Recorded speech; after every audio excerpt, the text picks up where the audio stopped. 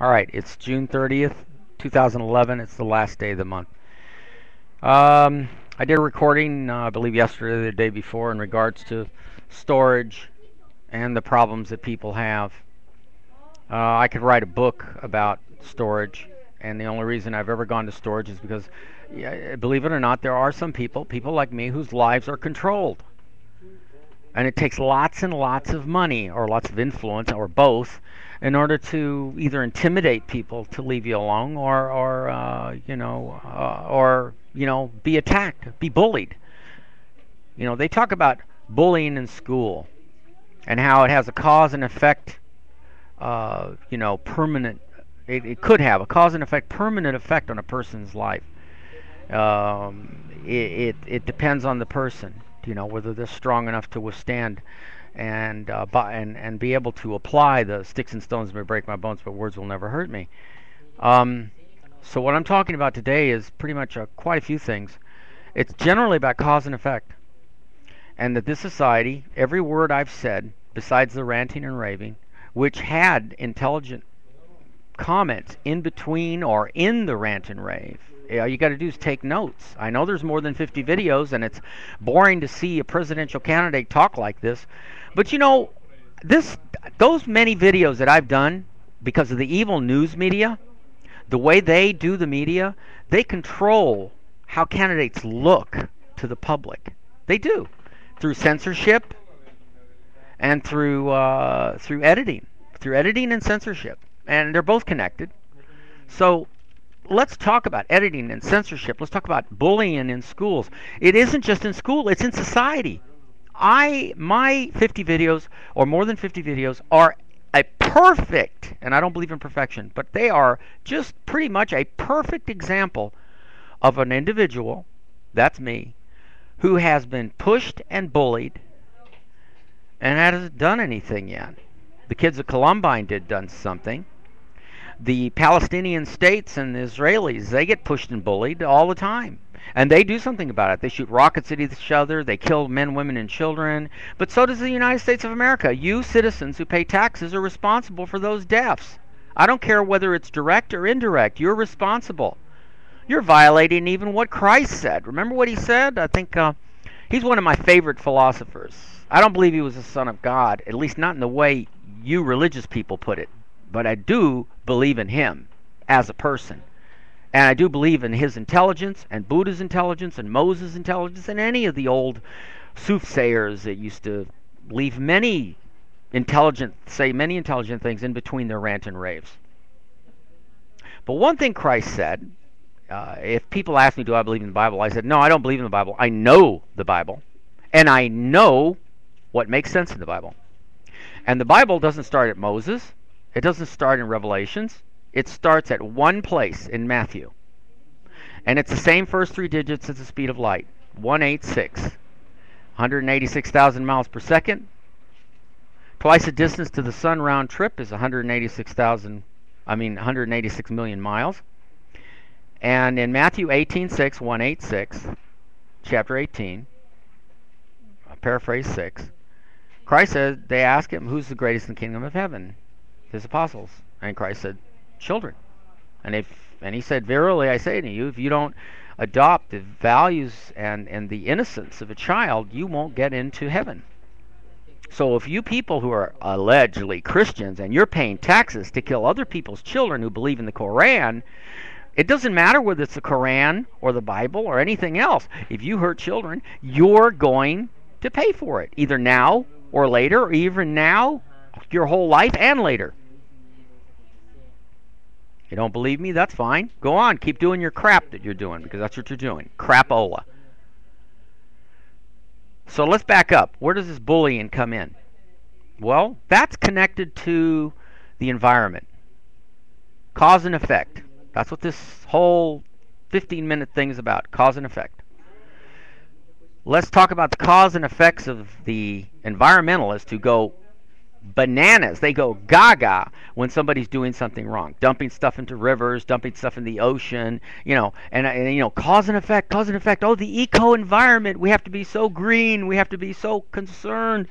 Hey, you also have to be concerned about the private rights of citizen, the rights to privacy, the cause and effect that you cause in a person's life financially and mentally when you apply a zoning law that that is equivalent to cruel and unusual punishment because of the way you applied it. And the way these things were applied to me, they were applied to me in not only a wrongful state, but they have destroyed me to the point of grinding away my teeth, me me not knowing that I was grinding away my teeth at night, and now there is permanent damage. So you actually are watching me die because I'm just going to do these videos until I die because nobody gives a damn. You care more there are more views on sexy nude models on YouTube, millions of views as opposed to mine. Why not mine? Because nobody cares. You don't care about another person's rights or liberties. You only care about yours. How did I do, how did I do that? Yours. Your rights and liberty. So that means you have a single standard. It's important when it happens to you, but it's not important when it happens to me. Or when it happens to your neighbor. Or when you make the phone call anonymously and you make it happen to your neighbor. You're all evil. You're selfish. You're I think somebody at NASA once said, "You're so conceited. There's the word the word conceit can't even hold a matchstick, a light to how conceited your human race is." And those of you that are different, they're like me, they're trying to change it, you're never going to get anywhere. Just you're just look at me they really have destroyed my life. I wake up every morning in a total deep, deep depression. It took me till 12 o'clock today to get up out of my stupor from the, the, the situational depression, which is like a drug that your society, Obama, the vice president, the Congress, the state legislature of California, the the the whole ball game, federal, state, local, all of you every neighbor, every lawyer, every judge, all of you pay taxes into this collective United States of America. All of you are evilly and equally greedy. And I hate you all equally. But you know what? That's not going to change the world. The world's still going on out there. There's still crime. Let me put something to you. You worry about the ecology, but you don't worry about how society applies something to somebody. A cruel and unusual overdone application of a law that destroys a person's life, and then you go, oh, that's not my problem, that's his problem. Okay? Why do you put your money in the bank? You afraid somebody's going to break into your house and steal your money? That's the only reason. Banks are like Al Capone. It's a protection racket. And now the banks have convinced you to put your money in, and you'll make you'll make uh, six percent interest on CD accounts and blah blah blah. But when but when the bank screws up and they make a mistake, or, or or or even if it's half your mistake and half theirs, they'll never admit to the mistake, and they'll make you pay for it. So banks, in a roundabout way, are in a protection racket. So are the police.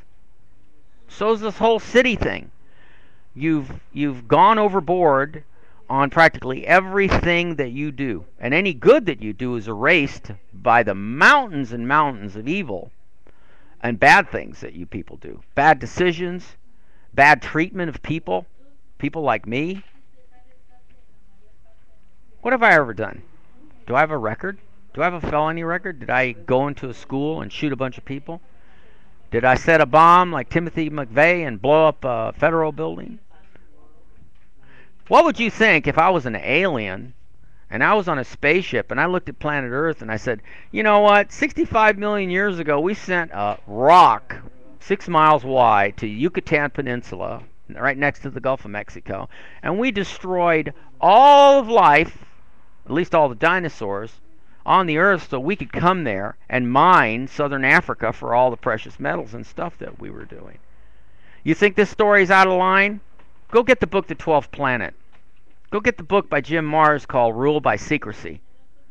Go go get these books. Go read like I have. Understand. You don't have to believe it, but understand that there are people out here that aren't just selling books. The other day I had a conversation with a kid. He's probably about 26 years old. He talked like he knew everything, like he was really intelligent, but he doesn't know everything. He talked like everybody that writes books and supposedly quote unquote are experts are only writing books pr- primarily to make money. Which I had to agree with him. Yeah, it's probably true. But what makes you think that they don't know what they're talking about? Did you go to school? Did you spend six years in college? Did you do any of the stuff they did? No. Well, then how can you put them down? How can you say their reasoning, you know what their reasoning is? So let me go one further. Here we're at 10 minutes. and I'm trying to get this all down so that it's as concise enough that somebody, somebody's I'd like millions of people to view all my videos and to take notes and take the intelligent things that I've said, not things that they agree with, okay? You don't have to agree with something that you agree is intelligent that I said. You can still disagree with it, but that doesn't erase it from being intelligent or making common sense. You can di- disagree with it, and other people may call you a fool for disagreeing with it because it's common sense, but you can disagree with it. My life is destroyed. You don't understand. I'm still cleaning up the mess that your society did to me, especially LAPD, parking enforcement, uh, the the uh, building and safety, the stinking lousy brush clearance unit of the fire department. Uh, you know, you've got a bunch of asses. If I'd been given uh, even the, the the real equal chance to debate these stupid mayors here in Los Angeles, I guarantee you there would not be a downturn. There would not have been a downturn economically like there was over the last 10 years uh, if I'd been given an equal chance. Because if I'd been given an equal chance to debate this idiot, Villaraigosa, or Hahn, or any of these people, not only would I would have won, you would have watched my fire like you would not believe. There would have been people fired right and left, building and safety, fire department, I don't know. I would have dug out every person who's a crappy individual who's used a single standard to apply their law and then replace them with somebody that really was intelligent. That had no less than an IQ of 150. Anyway, so here we are at 12 minutes and 30 seconds. See, now look at that. I even have to worry about I can't concisely tell you. That's why it's taking videos. I can't concisely tell you all of the stuff that I know in 15 minutes or 30 minutes or even a whole week or a month. You would have to experience every good and bad thing that I have gone through in order to understand what I've gone through. How I've been bullied pretty much all of my adult life because of my intelligence because people didn't understand me. Oh, you're that looks dangerous. You're working on something that could be dangerous. Eh, what? Prove it. Nothing I've ever done, even if it was bad, allowed should allow you or anyone, any official, to have punished me and destroyed my life so completely, including my mental, attitude towards the society that I'm forced to live in now. And, and, and you keep me prisoner here. Now, one person has emailed me on YouTube who has lots of money who said, This guy needs out. I don't want to see him die here. He doesn't want to die. He has a right to leave with whatever's left of his possessions. So maybe if he really is intelligent, we can watch his intelligence blossom in some other country and then be envious of it because that's what will happen. If some rich person comes forward, there will be an intelligence that will blossom because of the freelance that I would ask of that country. They would let me go, and I would unbelievably, there'd be supernovas of intelligence blasting everywhere, and I wouldn't want to share it with the United States of America, not at all, because they are evil and neglectful and just ridiculous. So, You've destroyed my ecology, my financial ecology, my mental ecology. So don't be so pissed when a meteor comes along and destroys your ecology, because that's pretty much what the world deserves. If I was an alien, I'd press that button and say, you know what? The world needs to go again. Goodbye, everybody. Enjoy the meteor hit. Because when it happens, it'll happen just as fast as what you see if you've ever seen a shooting star. And that's fast. See you later.